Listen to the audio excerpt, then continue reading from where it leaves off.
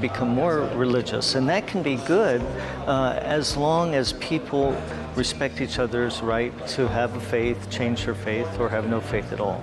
So I think when that kind of freedom is given, that creates societies that are innovative, and you can get people of different faiths and backgrounds working together uh, for common causes.